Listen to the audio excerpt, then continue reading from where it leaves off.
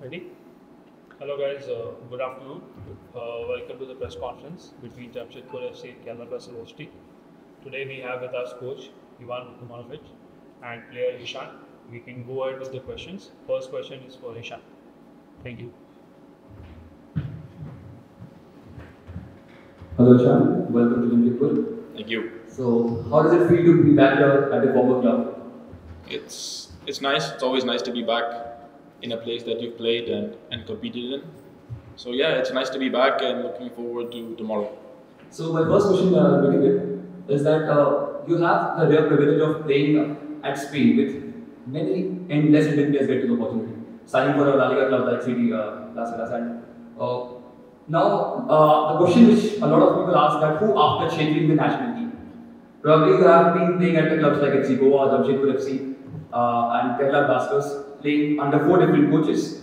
So this question always comes that can Ishan Pandita take the boot, uh, fill the boots of Sunil Chhetri after his retirement? And the question always remains that he's not getting much time on the pitch.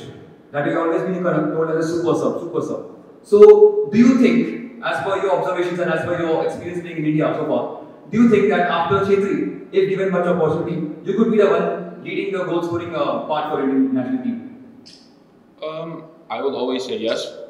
I mean, there will be a big spot that will be open that needs to be filled after after he's done playing. So it's anybody's opportunity to take it, and uh, I will do my best, and I will and I will s- hopefully I can I can take that place as well.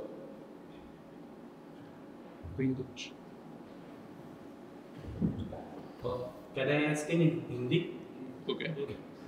Last game आप लोगों का JFC के साथ जो match था वो JFC दो तीन से जीत गया था और आप लोग का 18 गेम हो चुका है और आप लोग जो पोजीशन है टेबल पॉइंट में आपका पोजीशन जो है फिफ्थ है तो ये मैच कितना क्रूशियल होने वाला है और इसके लिए क्या स्ट्रेटजी है.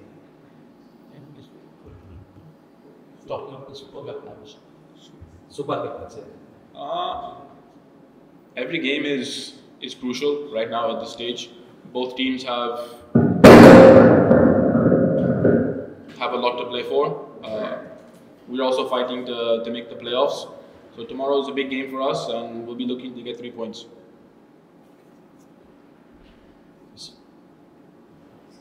Uh, hello, coach. So, Hello. Hope you have enjoyed your break, much needed break after a long time playing football. So, Well, you know, the break, I I stayed in Kochi, we were uh, working with, uh, with some injured players and the players who stayed. So, yeah, it was it was active break, I'd say. we saw your pics in the bicycle in the Kerala villages. Yeah, yeah, that was kind of uh, recovery period. so, uh, I'll begin straight away with the most important question, which I think people from Kerala have been asking me to ask this question. Uh, there has been a kind of uncertainty going around the future of uh, players like the individuals, Diamantopoulos and uh, Pedro, and including you as well. A lot of rumors going on that whether Ashan will remain in Kerala after the season because we have been experiencing your football and we have loved the Intel we have been playing so far for the last three years. And Kerala probably have been knocking the doors of the finals and probably the first trophy for the decade. But the uh, rumors and also uncertainty of your future and players like Delhi has always been there. So, uh, could you please share some insights on uh, whether the future of players like Diamantopoulos and you, how, how do you see this after the season? Well, you know, rumors will always be, always be rumors. You know, the things sometimes that you cannot control uh, going online, but we sometimes do not know from where does it come from. You know, there there there were rumors like uh, when I saw like uh, ex goalkeeper of Real Madrid coming to Kerala Blaster or something. We were like, yeah, okay, well. But anyway, there's nothing uh, true there. There are many fake things, fake rumors going out. Of course, when it comes to which, which concerns me, we have a contract, so I like being in Kerala Blasters. It's my honor. I'm very proud to be part of the great club. So there is nothing certain about that, like uh, about those fake rumors or whatever it was uh, going out. Then about DB, he's a great player, like uh, proving second year in a row that he can be the top scorer of the league. Of course, if there are any interest, especially that many, I'd say many clubs in this league um, uh, are looking around the league, saying if anybody performs well, so they have very weak, let's say, scouting going around overseas, finding players. And then it happened also in the, in the previous season. If I remember after first season with uh, Jorge Pereyra, with Alvaro, so it happens that always some of our players, when they come and perform in Kerala Blasters, they go further on. Then when it comes to financial aspect, of course, when you want to keep those players, but at the end, if you cannot compete with some of the offers, that's the unwritten uh, law of the transfer market, you know. So there are clubs in, uh, in uh, here in, in our league who, are- who are always saying, you know, well, get uh, get all the offers you have, then come to us, we'll give you more. So this is how it works in football, you know, sometimes. So of course, as a club, you want to keep your best players. There are some limits, there are some levels. We would like to keep our group uh, together. Especially, I think that the, many of them they fit together to create good things. So we'll try later our best. You know, there is still a couple of games to to be played till the end. Of course, Dimi is a great professional. You know, so that's that's kind of football. We'll do our best to, to keep it. So my uh, second question would be that you know we were having a discussion yesterday only that uh, if the second most popular person in Kerala is after the chief minister is Mr. Ivan Bukovan. in such a way that if Ivan Bukovan is contest an election against the chief minister, he can even defeat the chief minister. That is the popularity Ivan Bukovan has in the Kerala people. You know, for three years. That is the popularity of created. So seeing this popularity, seeing the people, the love people and affection people show to you, people popularity call you Ashan over there. So, uh, do you see it as a burden, as an over expectation the fans have, or do you see it as an opportunity to, you know, uh, to repay the trust, loyalty of the passionate fans of Kerala? How do you see this? Well, the, look, there are many aspects. In it was, uh, if I'm not wrong, that was the first time that one uh, coach stayed on a longer term, longer than uh, than one season in Kerala, looking at the, at the past. And then with the with the new with the owners and with the project and the vision that we created, it's been now it will be three years.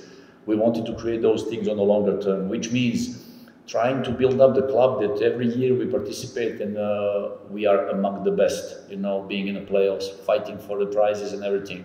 Of course, this year was uh, kind of weird, very difficult with many changes, many uh, issues, you know, injuries. Then we were cut uh, with the Asian Cup with some breaks and all these things that you have to improvise, that you have to go with all those things. Uh, then when like I say, on a longer term, when you are being part of such a great project, and then when uh, you are being part of one great community, giving your best, uh, adapting to everything what is present there, of course, the, the fans you can you can never fake fans. You know, supporters, fans, emotions, these things you cannot fake. And then the fans, again, comparing to previous period, of course, you appreciate the way the team playing, the, the team is performing, the team is fighting, the players who are coming, being committed to the club, giving everything for the jersey, for the logo, not only the coaching staff but the players as well. And these kind of things, you know, you find appreciation for that. That every day you want to give your best, because Kerala Blasters, uh, to be honest, in, in Kerala is kind of uh, state identity.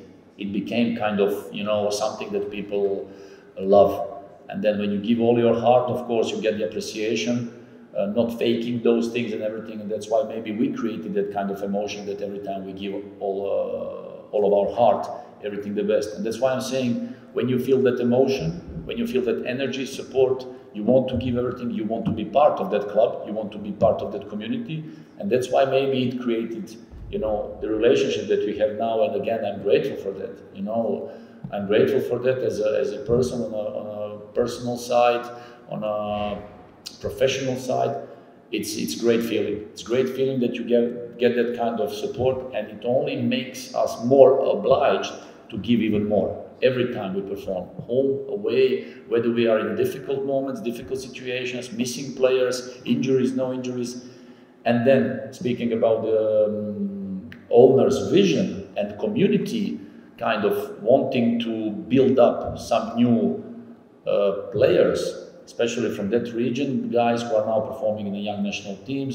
It's also about thinking about the future because you think about your project. It's not like working from, uh, let's say, season to season, trying to build up something, going back to zero, trying to build up something, going back to zero. Actually, that kind of appreciation, people recognize and say, we like having our team, what you know, coaching staff. So we are giving our best. I'm really grateful for all that feelings and uh, and support. So till the end, we'll give our best.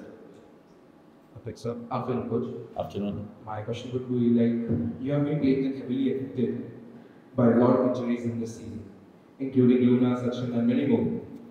You were at the top of the points table in January, and now do you feel the ice and shields hopes are still alive after the arrival of key players from the injury? Oh, will we see Luna in the play tomorrow, playing eleven tomorrow? No. No, Luna will not be there. He's still not ready to play this kind of game. He started practicing, uh, if I'm not uh, wrong, uh, a little bit more than 10 days ago with the medical staff. Then he started a couple of days ago with us on a certain uh, topics of the training session. It's uh, still risky, so now in the next period we will choose the right moment because it's not uh, it's not it, it, will not be clever you know to take huge risk throwing him uh, the moment that he's uh, still not ready. So we'll have to be careful because you know luna is a captain the guy who confirmed in the last uh, previous two seasons his quality that you know so we have to be careful of that because you know it's important. So so tomorrow he will not be on the pitch. So, this is ISL's was she hopes to live yeah, but always, you know, of course, as a club, you always want to compete. You know, look, we had, I think, a nice run till uh, December. You know, and then uh, even with all those injuries and suspensions, and then in uh, in December, in January, we got cut. Okay, players going out for national team, uh, uh, additional injuries that we get uh, in in a Super Cup, many issues. For example, remember in a Super Cup in a period of 17 days, we had 10 flights, you know, because we couldn't have the uh, accommodation in, uh, in Odisha. So always we had to fly back and forth from Kolkata to play those games. So then on an 18 days gap, without training sessions, flying all the time, you get accumulation of injuries. Players coming from Asian Cup, regaining back the shape, and then, of course, missing all those players. The season got cut on two. That's it. You know, not only with us, but many teams uh, was obvious that many players coming back from national team duties in uh, January with Asian Cup, they were not performing on a top level. So you get the season cut on two. Of course, we have uh, now points that we can sit in, um, let's say, top five for the moment, saying, okay, we hope for our playoffs, and then try to get best out of last four games to compete, trying to build up in the because again, in the next two weeks uh, with yesterday's arrival. So, uh, you know, four games, 10 flights, uh, you know, two training sessions. So it's kind of fixtures that you have to deal with it. So we'll have to probably later try to rotate one group of players, how to, because now playing in three days later, we're going to play at home against East Bengal. Three days later, we have to fly to Northeast. So it will be kind of, let's improvise, try to fix the best thing we can, and then later on, of course, trying to build up from the players. Good afternoon, coach. Afternoon. Uh, you have been here in India for almost three years now. Yeah, third season. Okay, yeah. So players like Sahal, Ajit Singh, and Preetham are, have played again, and Ishan. So uh, when they uh, play for the ISL clubs, they play at their optimum level and they score many goals. But when they face when they face the like uh, in the AFC Asian Cup, we failed to score a single goal, and even we got a humiliating defeat against uh, Afghanistan. So, what was what uh, do you think that the reason is that the players here are scoring goals, but at the national level they are not able to set their mark? Well, you know, um, the let's start like this. If you want to solve, not only speaking about football or sport, if you want to solve any problem in your life, first step to solving that problem is that you admit to yourself that you have a problem. So now, uh, speaking about also you football federation, clubs, uh, football base of uh, fans, supporters, many people are not conscious about the reality and the level of international football. Which means we play in ISL and we are conscious about the level that we are facing in ISL because people can see it live, can see it on TV. We are watching ISL on TV. We are watching also another another international competitions but facing some other uh, international clubs in Champions League, like this year, we saw our best team of the league from last season, uh, Mumbai City.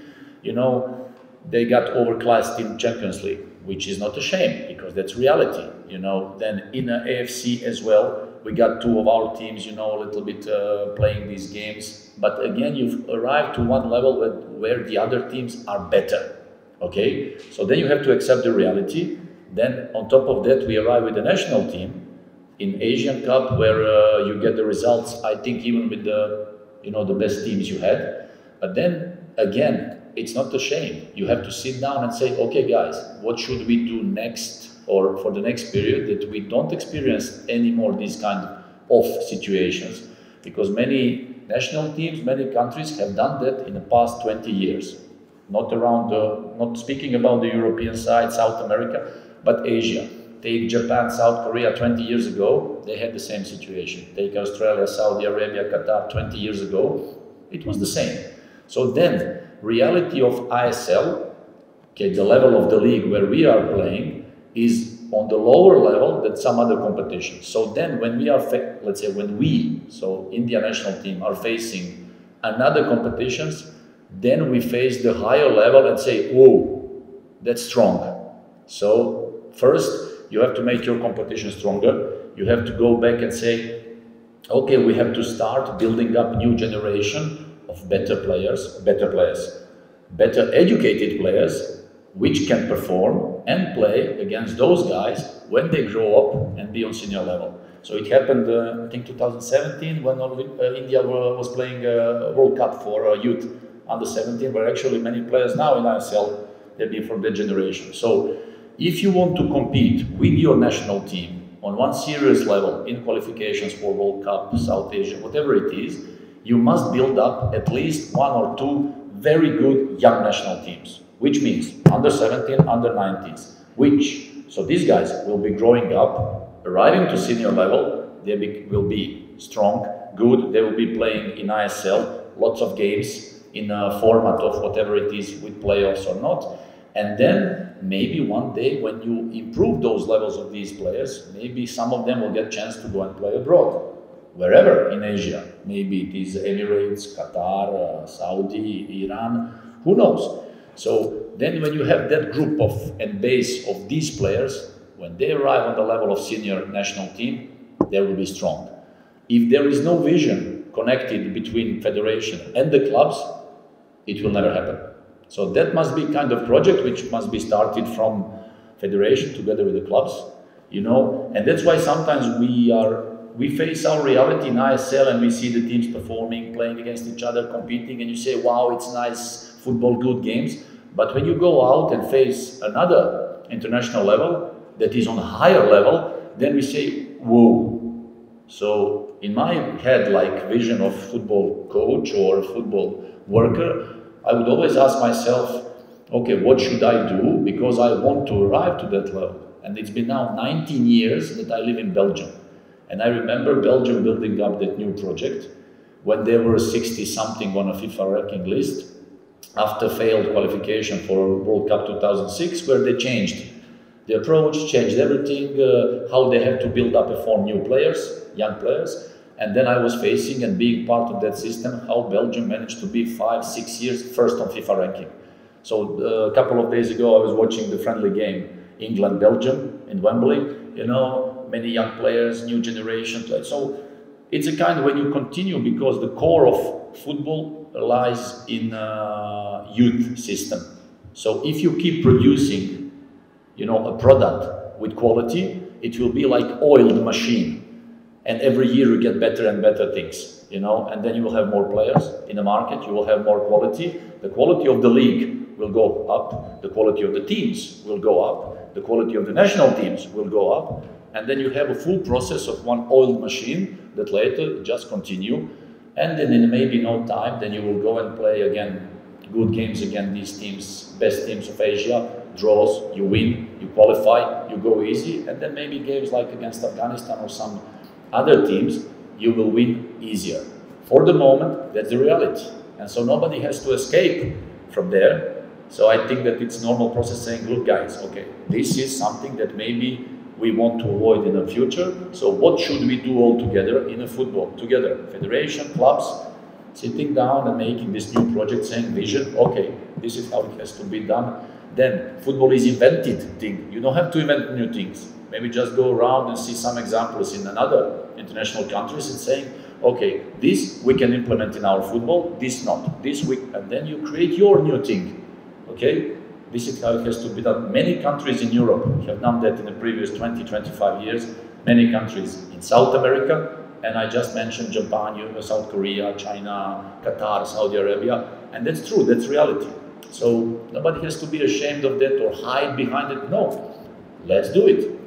So this is kind of project, very interesting project in football. Yeah. So my last question would be that uh, the national team coach, is a follow-up question of that only, the national team coach constantly complains that it's not my uh, responsibility to produce uh, Indian strikers. It is the responsibility of the ISL coaches and the players uh, to actually produce themselves. It's like, uh, that is the reason. So players like Ishan, more prominent strikers, young strikers, so they're not getting much uh, game time. That is the question being asked. So, so do you think that uh, players like Ishan, players like uh, Azhar, Ayman, uh, the ratio is definitely 7 to 4 when you compare uh, Indian players and the foreigners players. There are 7 to 4 is the ratio, but still players like Ishan are not getting much uh, time on the pitch. So do you think? He's uh, national team coach. He's right when he says that he doesn't have to produce. No, it's a job of the clubs. It's a it's a job of the youth system of the clubs, saying we need to pr- produce these kind of players with these profiles. So the clubs and the players they're practicing and they're improving in the clubs and they've been produced in the clubs. National team, that's confirmation. Okay, so the players when they go to national teams, they confirm their quality. That's all. So the national team is like picking the best. That's the point that the Indian market in ISL is really small. Speaking about ISL league and I league, the market is really small. Okay, every transfer window, half of the players, you know, under contract, you cannot get them because they're under contracts. And then the small amount of players going around, you know, it's kind of merry goes around from club to club, and at the end you get nothing. So the national team coaches like, okay, we need the bigger core of players to select, and then many teams in ISL saying like, you know what, we don't care about the quality and forming young players. What we need and what we want to make the result. So what's the easiest way? Yeah, okay, you know what? I will buy some foreigners, especially on position. If you look previous 10 years, so mostly foreigners are on position of strikers or uh, central defenders, something that you miss. So as a uh, foot, Indian football or uh, federation, I would say, guys, in our formation of young players, we need to produce more strikers, central defenders on certain positions, because then you will get the quality, and then the clubs will say, okay, then I don't need to bring those foreigners in those positions because we have, you know, those players. And it goes again to quality. Everybody's speaking, yeah, you know, increasing back the level of uh, foreigners. No, I would say let's decrease the level of foreigners. Okay, let's give more chance to domestic players, and let's say, I don't know, you can implement many uh, rules like having uh, at least uh, one player under 21 on the pitch or under 23, and you give chance to your players, and then you work. This is how it goes. Of course, in the beginning, depending on quality, but that's the only way that you can improve the youth system, football, and in the end, who benefits the most? National teams. Otherwise, if you don't allow those players to develop in the level of youth and ISL or whatever senior football, then at the end, who suffers the most? National team. So, and that's that's reality. So. I have a question of uh, Hasan. Uh, आप लोग के last पाँच game की अगर बात करते हैं तो आप लोगों ने केवल एक गेम जीता है वो भी एफसी गोवा के खिलाफ बाकी जो भी Bangalore FC Punjab FC ATK Mohun Bagan super जट्स इन चेन्नईयन एफसी उनके खिलाफ आप लोगों ने मैच हारा कुछ मैच ऐसे थे जिसमें आप लोग गोललेस रहे कहाँ कमी रही और उसको कैसे इम्प्रूव कर रहे हैं और आगे के जो फर्दर जो चार गेम बचे हैं आप लोगों की उसमें क्या स्ट्रेटजी होगी? और आप लोग की खासकर एक क्वेश्चन और है कि आप लोग ने जो फॉरेन प्लेयर है डिमिट्रियोस उन्होंने ही सबसे ज़्यादा गोल बारह किया। इंडियन जो फॉरवर्ड प्लेयर है जस्ट लाइक यू वो गोल करने में नहीं कर पा रहे हैं। क्या रीजन क्या है? कहाँ कमी रह रही है? Um, first of all, yes, uh, we were going through a little bit of a phase since the break, but we're training well, and the team is in good spirits, and and we are ready. I think tomorrow will, will be a good day for us, hopefully. Uh, football changes very fast. We've not performed to our best in the last few games.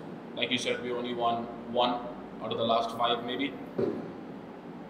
But we're in good spirit right now. We're training well. The team is, is in good shape, and, and tomorrow hopefully we can we can do well.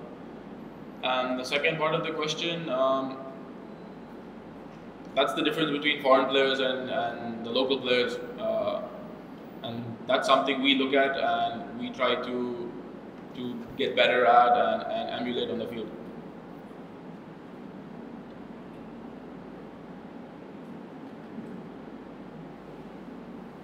Thank you guys. Davis.